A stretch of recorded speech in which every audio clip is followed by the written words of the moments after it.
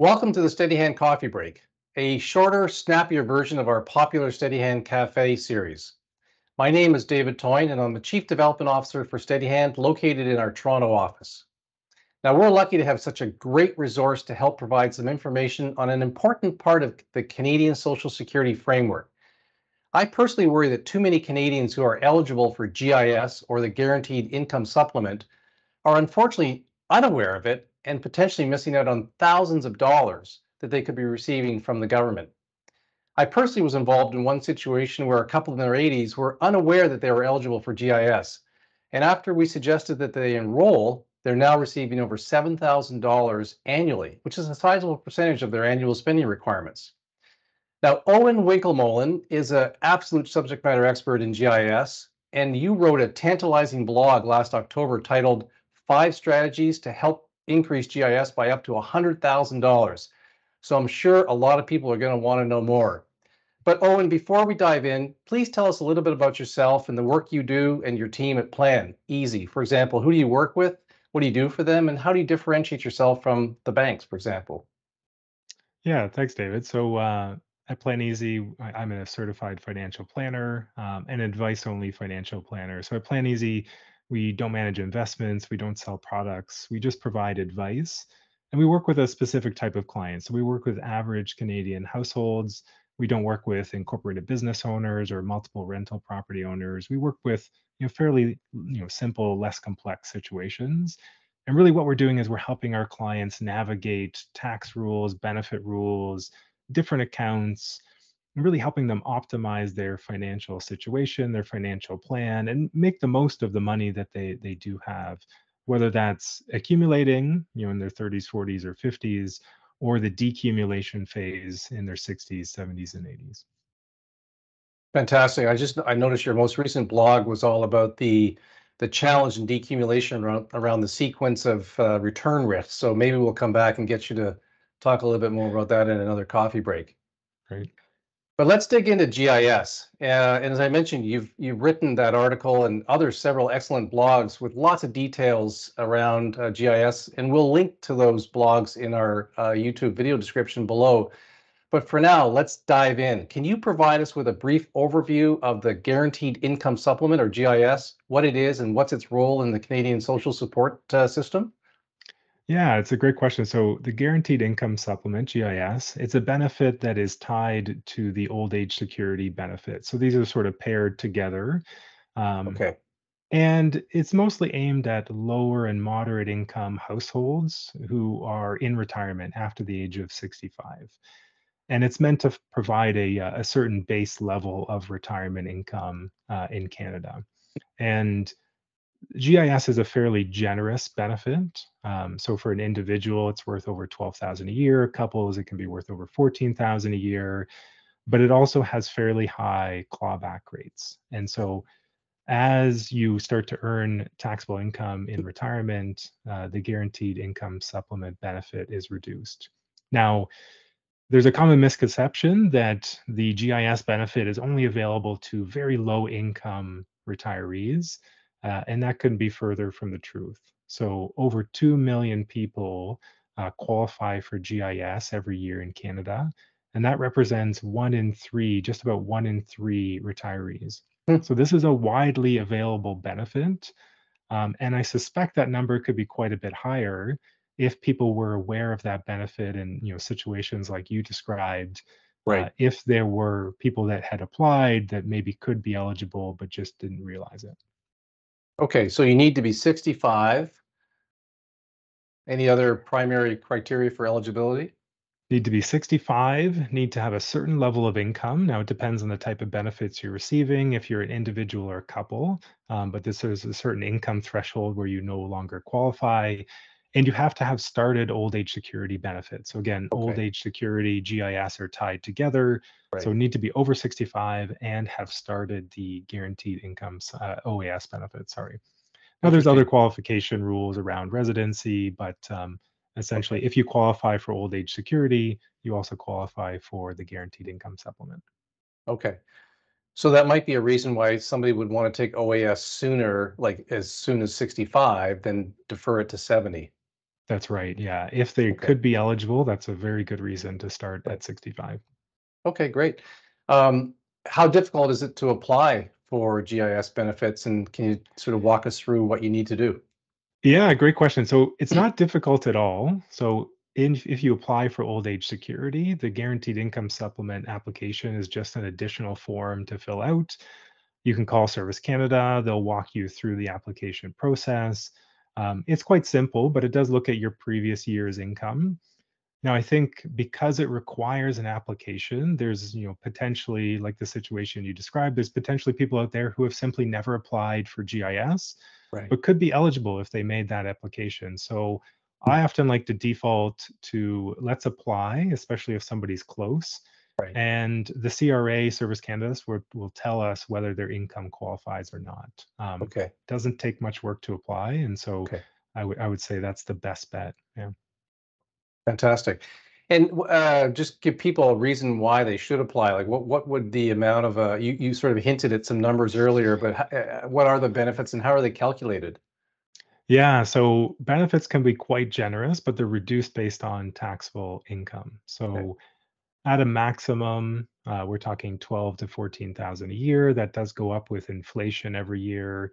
Um, so with periods of higher inflation, those numbers could be quite a bit higher in the future. But it does get reduced based on taxable income. So it's uh, it's based on line 23600 on your tax return, uh, which is net taxable income. And as a household, every dollar you earn will reduce your GIS benefit by anywhere from 50 cents to 75 cents. So Okay. any sort of taxable income, we're talking Canada Pension Plan payments, uh, Right. RSP RIF withdrawals, uh, pension income from a defined benefit pension, even interest income on your savings account or dividend income on your investment account. All of those will trigger reductions, uh, clawbacks on your GIS benefit. So Okay. most people don't receive the maximum. They're receiving two, three, four, seven, eight thousand a year. But this makes up a fairly significant portion of their retirement spending. Um, and over the Okay. course of 30 years in retirement, we're talking easily 50, 100, 200,000 dollars in potential benefits.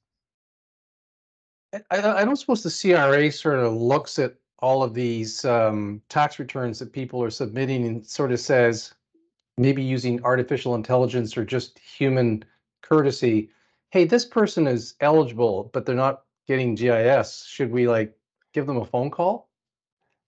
I, think it's probably an opportunity if everybody wants to email or mail their MP. Um, that used to be a problem with with CPP and OAS until they got Yeah. to the point of just automatically enrolling at a certain age. So I, I do think that should probably be in place. An application maybe shouldn't be required. It should just be by default. Um, but I also don't write the laws. So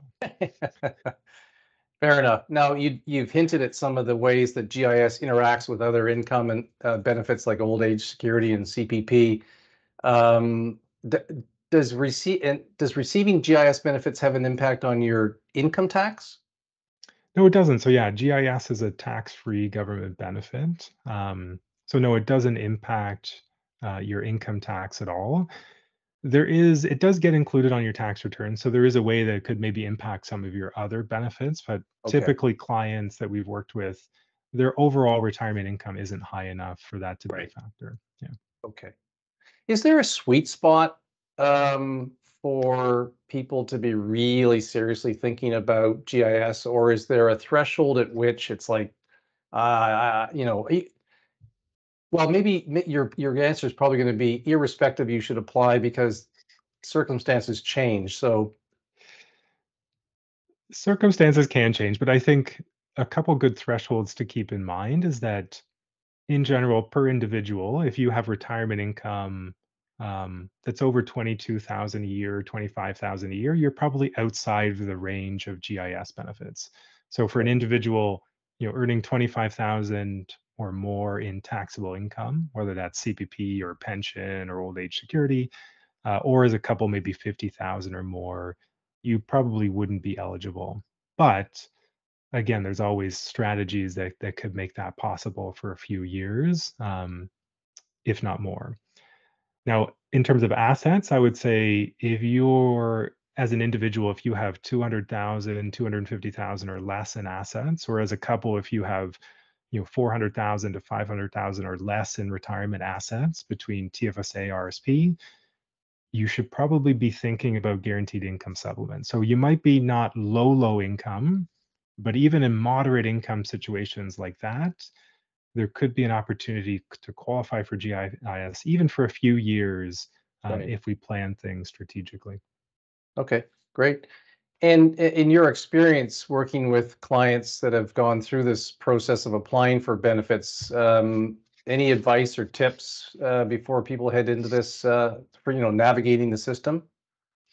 Yeah, so there's a few strategies that uh, we've come up with that uh, that are good to think about, but in general, it does require some pre-planning. So what we often say is that there are certain times when GIS planning needs to be top of mind. Uh, age 60 is one. So when you s- when you are eligible for Canada Pension Plan, um, that's your first opportunity to start those benefits. That's often a good time to think about GIS planning age 64 65 so right before gis and oas begin is another important time and then in your sort of late 70s 72 when rsps need to be converted to a rif or Right. a lira to a lif that's another important time to think about gis planning Okay. earlier the better so late 50s is often the best time we still have room to maneuver you know do strategic contributions withdrawals um, so the earlier the better um, but before age 60 65 is the best time So one one one con one consideration is as you're heading into your late um, 50s, early 60s is you know kind of melting down your RSP. yes in order to reduce your RIF or or your you know your yeah your your RIF income. yeah that's right so that's one of the strategies we outlined in the blog post is Yeah. that RSP RIF withdrawals are very bad from a, a GIS perspective. So imagine you take $1,000 out of your RSP and RIF. What many people don't realize is the next year that causes a reduction on your GIS benefits of 500 to $750. Right. And it's it's hard to see the connection there, but all of a sudden next year you're going to see your GIS benefits go down. So what Yeah. we often like to do, if we can do that sort of pre-planning, if somebody has 50, 60, 100, 200,000 in their RSP, we might plan on strategically drawing that down before age 64 uh, and before those clawbacks begin. Right. Yeah. Now, th- there's a lot of tax to be paid on those withdrawals, so I would, would do that very carefully. Again, work Right. with a financial planner to plan that out. But the tax Right. you have to pay is often much better than the clawbacks you lose on GIS in the future. Awesome. Well, as we close out our discussion on on GIS, are there any sort of pitfalls or common misperceptions uh, that you would like to highlight, given your experience working with people about GIS? I think there's a few kind of opportunities. One, starting CPP benefits a little bit earlier is often a, a good thing to think about. So, as much as you get more CPP if you delay starting those benefits, CPP income does trigger GIS clawbacks. So, often we'll look at starting those benefits early. Um, certainly want to use a TFSA instead of an RSP. We've worked with clients that uh, you know their investment advisor or just through their own self-directed contributions they've been adding $100 a week $100 a month to their rsp not realizing the effect they'll have on their benefits in the future so in general we want to be very strategic about uh, making contributions to a tfsa versus an rsp and then the other opportunity is that the first year of retirement um, it's a very little known opportunity but because GIS is based on your previous year's income, the first year of retirement, your income has dropped quite dramatically. So usually you've left, uh, left a higher paying job, you're now in retirement, perhaps lower income in that first year of retirement. You can call Service Canada and apply to have your GIS benefit based on this year's income rather than the previous year's income. Hmm. That can sometimes provide an extra two, three, five, seven thousand dollars in GIS benefits that normally you would have to wait a year to get. Um, Right. So that's another opportunity if you're in your first year of retirement. And those GIS benefits are not taxable. That's right, non-taxable income. Right. I mean, it just it it just it blows me away the opportunity for Canadians to save on taxes, increase uh, their wealth by getting some of this um, advice-only, uh, you know, planning that you and your your colleagues in the community provide. So, I guess my I implore people to really seriously think about not doing this themselves, but just go pay a modest amount of money, and you'll be blown away by the return uh, from that investment. Owen, as we close out on our GIS discussion, um, I think I know the answer to this, but what advice would you give to individuals who may be eligible but not, not yet applied? Late 50s, reach out, even even for an initial consultation. Um, an advice-only financial planner within the, th- the first 30 minutes or so. Uh, and we at PlanEasy, we do a free 30-minute discovery call. Often we can ascertain whether or not this type of planning could be a benefit in the future. So the actual mechanics, the planning year by year can be quite a bit more complex, but it's fairly easy to identify opportunities like this where you know a little bit of forward thinking can save thousands if not tens of thousands or more in uh, in benefit clawbacks. Brilliant. Well owen your expertise on this important topic has been enormously helpful and uh, deeply appreciated certainly by me and hopefully by everybody watching if anyone would like to connect with you, what's the best way to do that? Yeah, so they can go to planeasy.ca and click start planning, uh, and they'll be able to set up an account with us and then book a, a free discovery call with one of our financial planners. Fantastic. And we'll also include a link to your contact information in the uh, the video description uh, below here as well. And so let's close out on that. And, and I'd like to thank everybody for watching the coffee break video on GIS or Guaranteed Income uh, Supplement. Owen and I have also discussed separately the new FHSA or First Home Savers account in a separate video that you can find on the Steadyhand YouTube channel. And you don't have to be under 65 to care about FHSAs. Uh, we gave some ideas for some older people, parents and grandparents, uh, where your kids may be eligible and, and they don't even know about it. So head over to that video and check it out. And there are so many other investment and financial related videos and resources that you can find on the Steadyhand YouTube channel and our website, steadyhand.com. So be sure to subscribe to both the channel uh, as well as our blog to be kept up to date on all things related to investing and planning. Oh, and again, thank you for your time today. And thank you everybody for watching and bye for now.